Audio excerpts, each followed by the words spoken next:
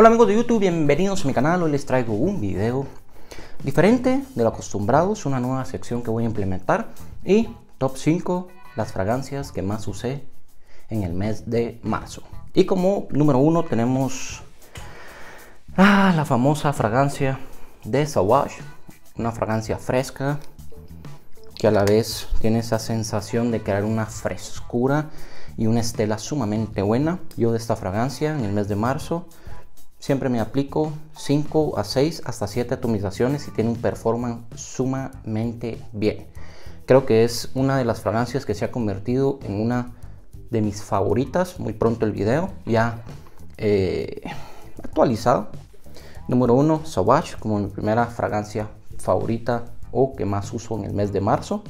Como número 2, tengo a una casa de Alexandra Fragrances, Anubis Keys. Esta fragancia me ha cautivado bastante. Ya he comprado Black Afgano y parece genial. Se parece mucho, mucho a lo que es Black Afgano de Nasumato. Y esta fragancia de Anubis Keys me la aplico más que todo en días donde hay, un, donde hay variaciones en el clima. En, este, en el mes pasado de marzo. Y tiene un performance ni tan bajo ni tan sumamente fuerte, sino ya tiene una sensación cautelar en estela moderada y una longevidad 6 horas y a la séptima hora ya se queda pegada a la piel. Mi segunda fragancia favorita que más usé en marzo, Anubis Kiss de Alexandria Fragrances. Como número 3 tenemos a Color Me Gold, una fragancia muy similar a lo que es One Million y Halloween Man y Cuba Royal. Pero esta fragancia no sé por qué me trae siempre buenos recuerdos y lo que me gusta de esta fragancia es su ADN. Después de pasar la séptima hora queda una, un aroma como a canela y a pimienta, pero una pimienta relativamente suave que se queda pegada a la piel. Y si alguien se acerca bastante a ti, va a percibir ese aroma cautelar de lo que es Color Me Gold. ¿Cuántas atomizaciones? Más o menos me aplico entre 5 a 6 atomizaciones, no más, un performance sumamente bueno. Como número 4, en el mes de marzo estuve usando otra fragancia de la casa de Alexandria Fragrances, puesto que el calor es sumamente fuerte en ciertos días, no sé por qué varía tanto el clima. Y estaba usando Alexandria Fragrances de Godfather, una fragancia que me, me recuerda un coco dulce o esos dulces de coco que se comen, que son bastante ricos, se me afigura ese aroma a un coco dulce.